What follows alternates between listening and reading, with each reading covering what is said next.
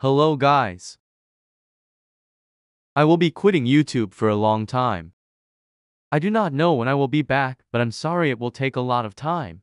It is very hard making new content and stuff, and the edits I can't make videos very quickly. I feel like I should take a break of YouTube and relax because it's hard thinking of content and takes a long time editing all of it. I'm sorry, I hope you understand this. Bye for now.